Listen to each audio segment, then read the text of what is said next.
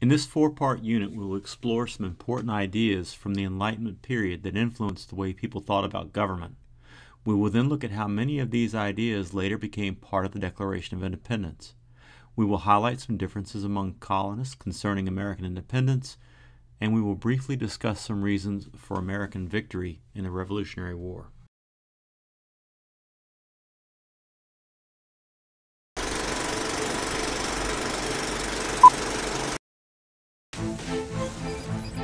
In today's technological society, I think it's hard for us to think in terms of a period in time when men saw nature as something unknowable. The scientific method is, I think, one of the greatest gifts of human culture in allowing us to separate myths and dogma from reality. Many of the roots of the scientific revolution in Europe um, are anchored in alchemy, attempts to synthesize gold out of base metals, which encouraged early experimentation with chemistry and physics. Sir Isaac Newton was interested in alchemy. We, we remember him for, for, physics, but his initial interests were, were alchemy. Newton had introduced what we today call the scientific method. At the time, it was revolutionary. He insisted on a new approach to science, which was not to just state rules and maxims, but rather the idea that science had to prove itself over and over again, and that each hypothesis stood ready to be taken down by the next one, essentially. The scientific method is like a, a razor designed to separate what we can prove is real from those things which are simply claimed. They looked at lightning. They looked at earthquakes. They looked at other natural phenomena. And they sought natural explanations. It wasn't enough for them to say, God wills this. You have to remember, that during this period of the Enlightenment, when these scientific ideas were coming to the fore, the church was the ultimate authority about how the world worked and what you should believe. And what was so revolutionary about the scientific method is it, it was essentially democratic. It said that no power, no person, uh, no, no organization, no ruler can tell you what reality is. This was not just an incredible advance in human knowledge, but also at the same time a lot of skepticism towards the role of these institutions that heretofore had been utterly beyond questioning in these societies once you begin this discovery, this, this method of scientific knowledge, you can't put it back. It's like letting a genie out of a bottle. Scientists have been finding out ever since that truth, according to scientists, changes all the time. Scientists are constantly revising what they think to be true.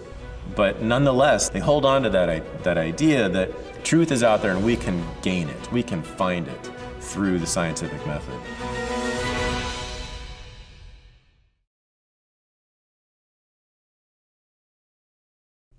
In part one of this unit, we will analyze the political ideas of John Locke and those expressed in Thomas Paine's Common Sense to see how they helped shape the Declaration of Independence.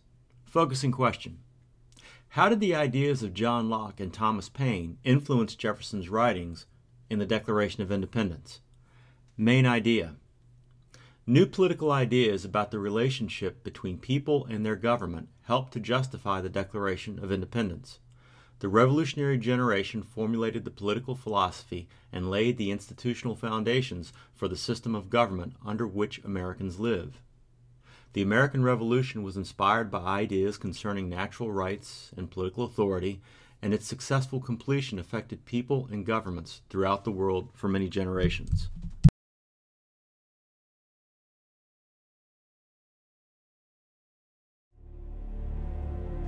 Declaration of Independence, for me, is one of the best pieces of writing I've ever seen. It's a revolutionary document for a revolutionary statement. You cannot help but be stirred when you read those words.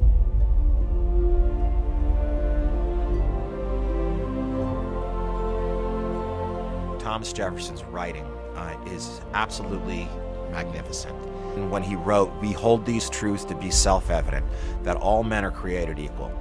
That was the first time anybody had bothered to write that down. And then you turn the clock back and think of when he was writing, how young he was, what a statement it was given the history of the world at that point.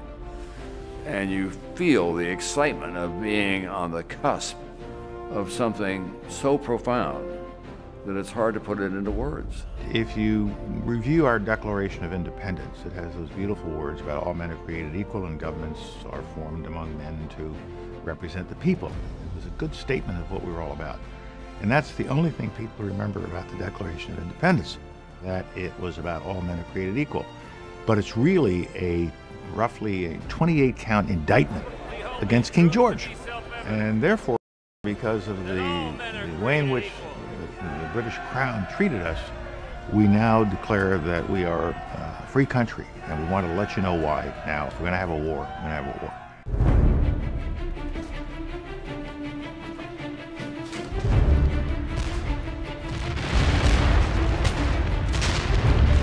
In 1776, you have the Continental Congress meeting in, uh, in Philadelphia, debating uh, a unified position for the colonies with respect to the hostilities that have already broken out. And the fundamental issue uh, between them is are they fighting for their rights as Englishmen within the British Empire, uh, or are they going to fight uh, for independence? And they're seriously divided.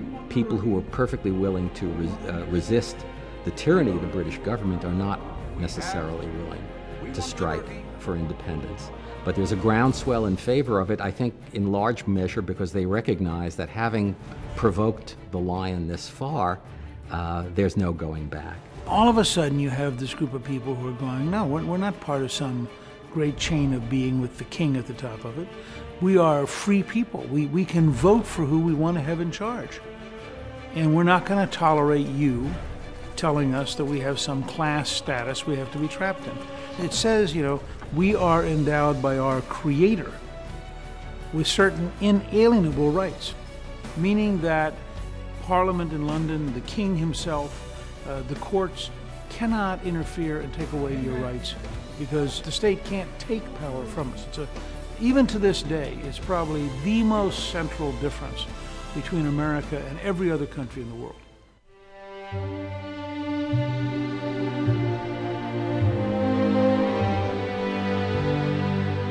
It goes well beyond what was needed in order to declare independence. It, it, establishes a philosophical basis for a civil democracy in which all persons are guaranteed rights by virtue of their personhood. This political genius, not just in Jefferson, but in Adams and all the other people who collected here, they saw a new time for humankind, which is that we can be free and that we can make decisions for ourselves.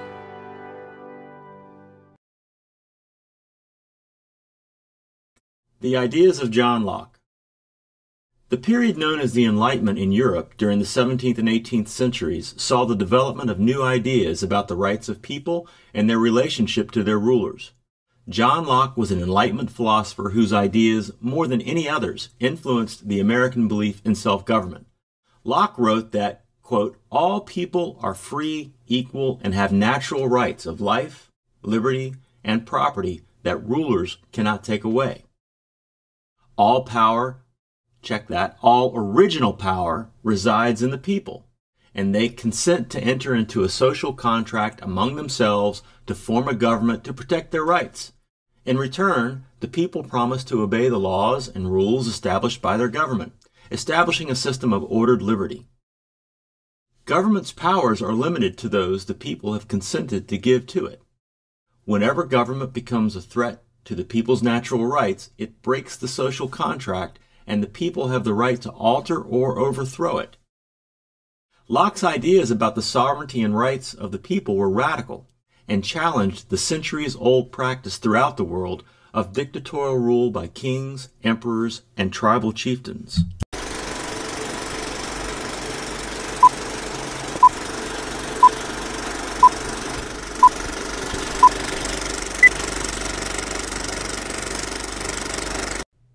Thomas Paine and Common Sense. Thomas Paine was an English immigrant to America who produced a pamphlet known as Common Sense that challenged the rule of the American colonies by the King of England. Common Sense was read and acclaimed by many American colonists during the mid 1700s and contributed to a growing sentiment for independence from Great Britain.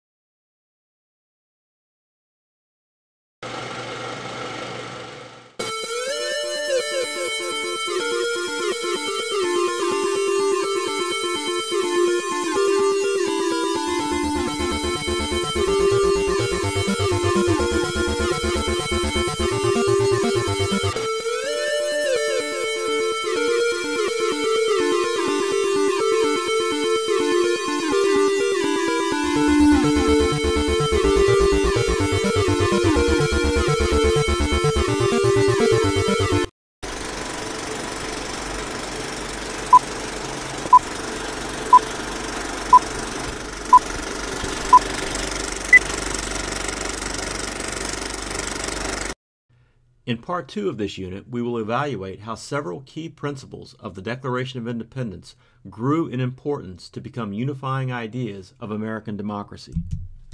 Focusing question How did the Declaration of Independence become a roadmap for the new republic as it extended the franchise, provided for equality of opportunity, and guaranteed unalienable rights?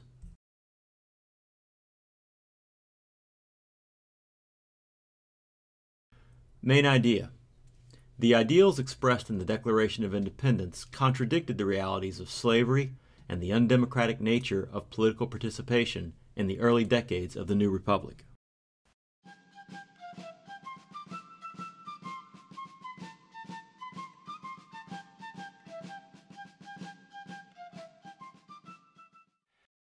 The Declaration of Independence. The eventual draft of the Declaration of Independence authored by Thomas Jefferson of Virginia, reflected the ideas of Locke and Paine.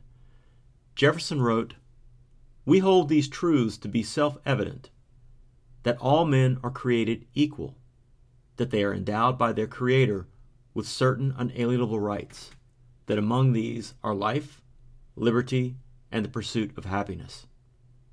That to secure these rights, governments are instituted among men, deriving their just powers from the consent of the governed. That whenever any form of government becomes destructive of these ends, it is the right of the people to alter or abolish it, and to institute new government. Jefferson then went on to detail many of the grievances against the King of England that Paine had earlier described in Common Sense.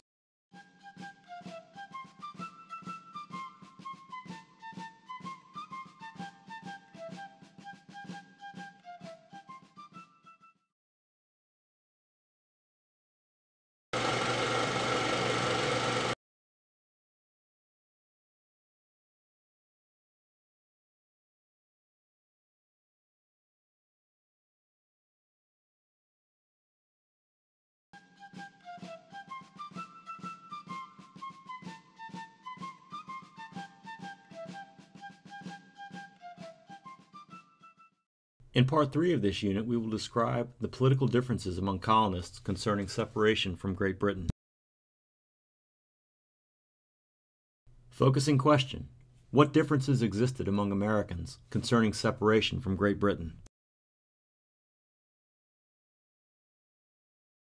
Main idea The ideas of the Enlightenment and the perceived unfairness of British policies provoked debate and resistance by the American colonists.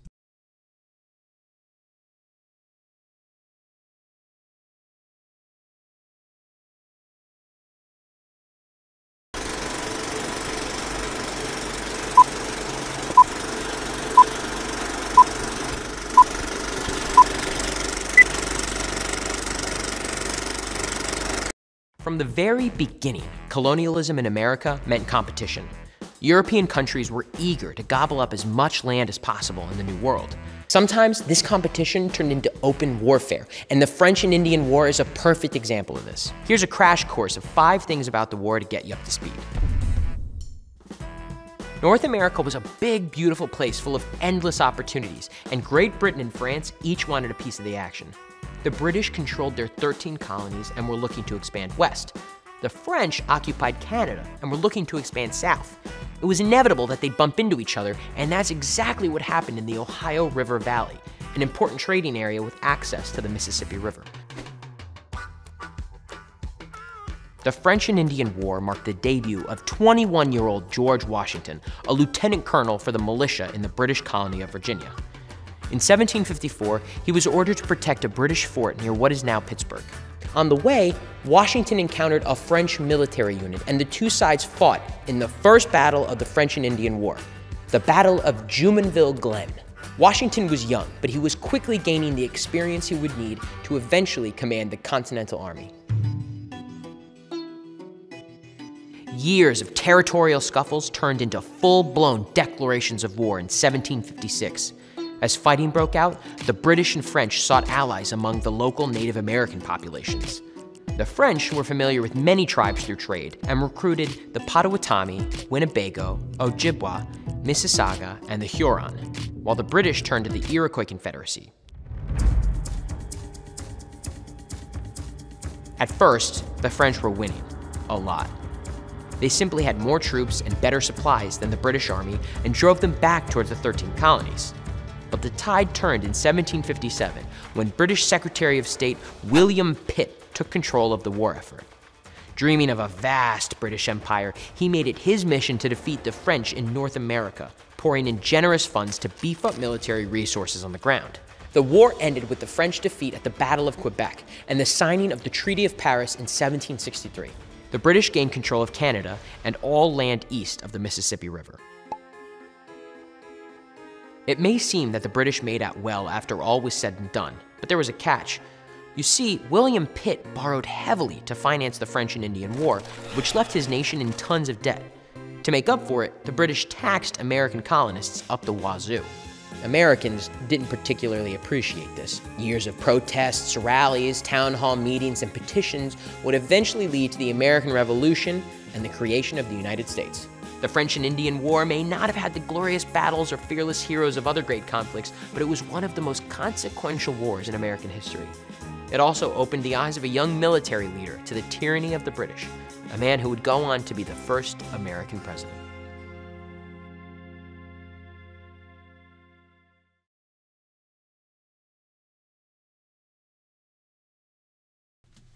Anglo French rivalry leading to conflict with the colonies. The rivalry in North America between Britain and France led to the French and Indian War, in which the French were driven out of Canada and their territories west of the Appalachian Mountains. As a result of the war, Britain took several actions that angered the American colonies and led to the American Revolution. These include 1. The Proclamation of 1763, which prohibited settlement west of the Appalachian Mountains a region that was costly for the British to protect, and two, the Stamp Act of 1765, which placed a tax on legal documents. Taxes were also placed on tea and sugar to pay the costs incurred during the French and Indian War and for British troops to protect the colonists.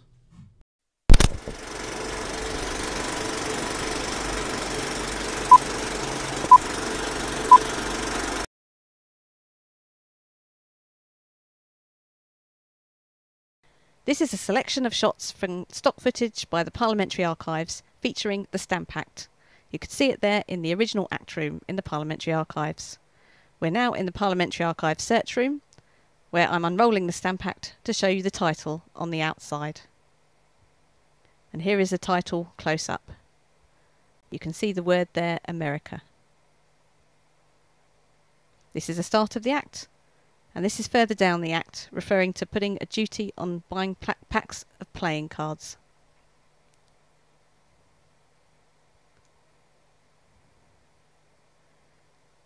And this section of the Act refers to duties on cards, pamphlets, and newspapers. The beginning of the American Revolution. Resistance to British rule in the colonies mounted, leading to war. The Boston Massacre took place in March of 1770 when British troops fired on anti British demonstrators.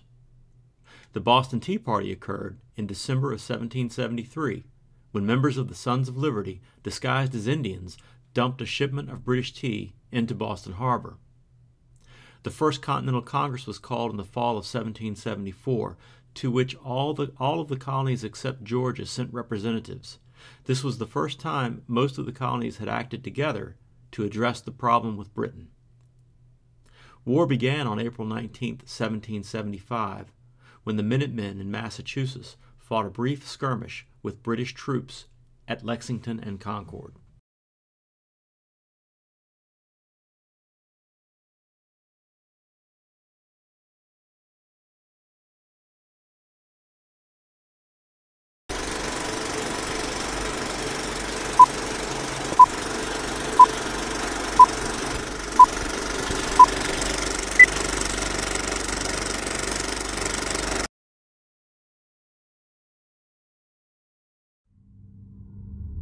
It's April 19th, 1775. The sun is rising on the village of Lexington, and the first battles of the Revolutionary War are about to begin.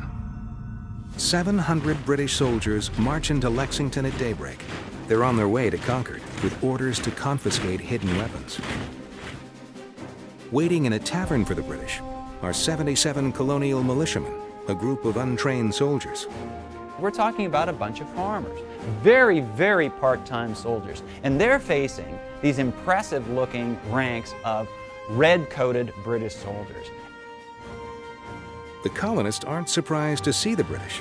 In fact, they've been warned by spies like Paul Revere, who spent the night before riding through the area on horseback giving out information on British troop movements.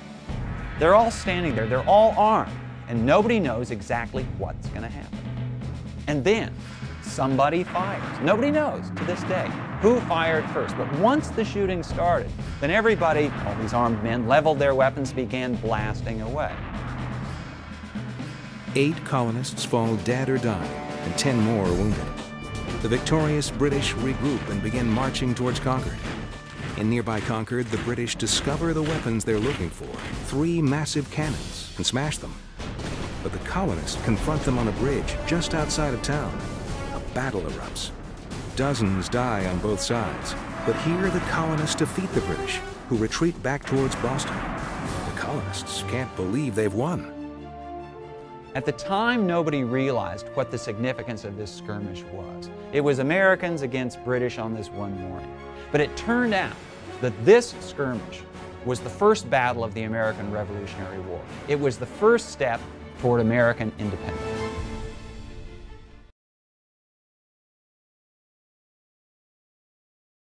Differences among colonists. The colonists were divided into three main groups during the Revolution. Patriots believed in complete independence from Britain. They were inspired by the ideas of John Locke and Thomas Paine and by the words of Virginian Patrick Henry, who said, Give me liberty or give me death. They provided the troops for the American Army, led by Virginian George Washington. Loyalists, also known as Tories, remained loyal to Britain because of cultural and economic ties. They believed that taxation of the colonies was justified to pay for the British troops who protected American settlers from Indian attacks. Neutrals, our third group, were the many colonists who tried to stay as uninvolved in the war as possible.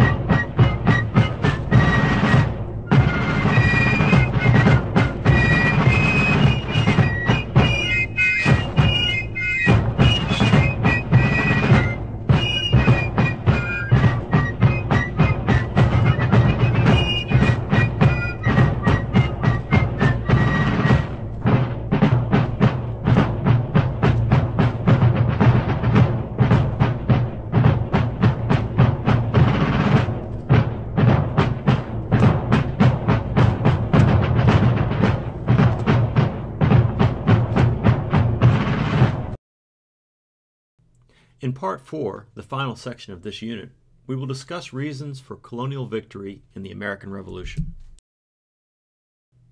Focusing question What factors contributed to the victory of the American rebels? Main idea The American rebels won their independence because the British government grew tired of the struggle soon after the French agreed to help the Americans.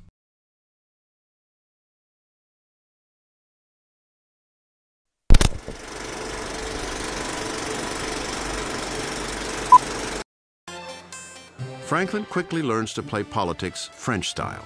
He becomes a master of that uniquely Parisian institution, the salon. It is at these late night dinner parties that the movers and shakers of French politics could themselves be shaken and moved. So again, it's Franklin adapting. He realizes the pace of life is different. He realizes the approach to work is different. And he realizes that much is done on a very social platform.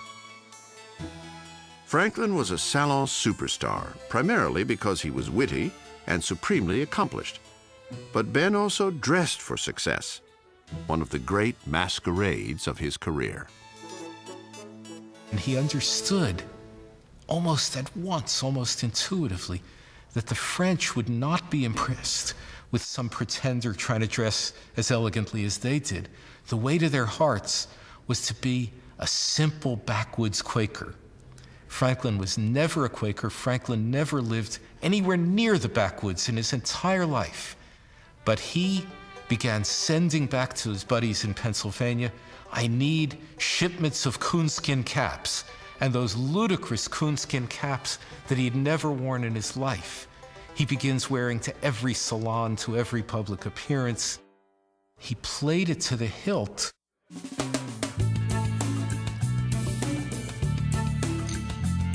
The French were enthralled. And as Franklin's fame grew, so did the envy of certain other Americans.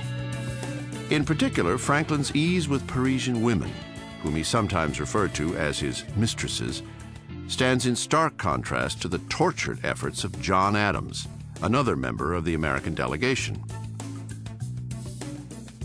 Franklin and Adams had two very different approaches to the French. You can even see it in the way they learned the French language. Franklin talks about how he learned to speak French by lounging on the pillows of his French mistresses, whereas Adams learned to speak French by memorizing a volume of French funeral orations. So they have a totally different style. He speaks of Franklin's charm as if it ought to be a controlled substance or something. And there's almost an eternal friction between the sort of classic over and classic underachiever, between the class nerd and the most popular guy, between Adams and Franklin. He goes to Paris and he discovers that Franklin is the lion of French society and Adams is a nothing. In fact, the people of Paris get him confused with Samuel Adams. And they're always, well, they end up just calling him the other Adams. Even routine office work ended in fits of sputtering rage for the other Adams. John would be at work early, and Ben would stroll in at noon after a late night at the salon. Adams thought it was ironic that the person who had spoken about early to bed, early to rise makes a man healthy, wealthy, and wise, John Adams had grown up on Poor Richard's Almanac. And here was the author of Poor Richard's Almanac not following that kind of advice at all. But Franklin understood that he was actually getting more business done for the American mission at 2 o'clock in the morning in somebody's salon than Adams did at 8 o'clock in the morning in the office. That's simply the way the world of Parisian politics worked. In Ben's view, John was a mixed blessing. He means well for his country, noted Franklin, and is always an honest man but in some things, absolutely out of his senses. The French find Adams even more annoying. The foreign minister refuses to deal with him. It is Franklin who patiently works the French government for more than a year.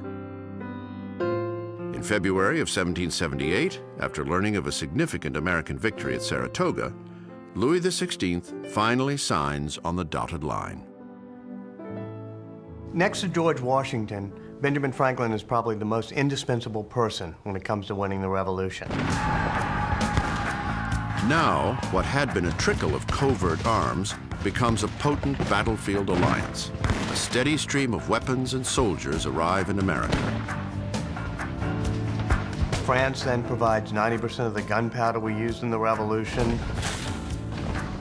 The Marquis de Lafayette has almost as many French troops at Yorktown as George Washington has American troops. So that's what allows us to win the revolution militarily. Still, battlefield successes must be translated into diplomatic terms. After the decisive victory at Yorktown, Franklin and a team of American envoys would spend two years haggling with the British over details of a final peace treaty in the end, the British realized that it wanted to have America as an ally. And Franklin is able to play off Britain against France. So they're both competing to have better alliances with America because they realize that America is going to be the great trading and economic partner in the new century. And it ends up with Franklin uh, being able to make deals with both of them.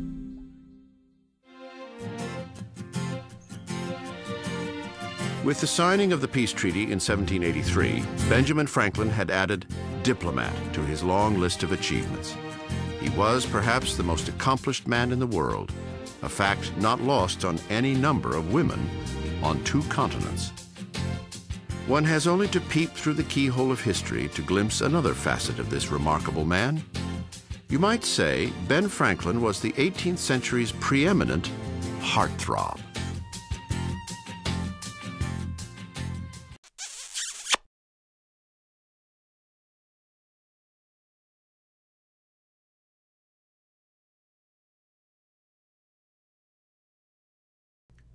Factors leading to colonial victory. Diplomatic factors. Benjamin Franklin negotiated a treaty of alliance with France in 1777. Americans benefited from the presence of the French army and navy at the Battle of Yorktown in 1781, which ended the war with an American victory. The war did not have popular support in Great Britain. People back in Great Britain would rather have seen an independent America than continue sending their sons to die in a foreign land. Military factors. George Washington, general of the American Continental Army, avoided any situation that threatened the destruction of his army. His leadership kept the army together when defeat seemed inevitable.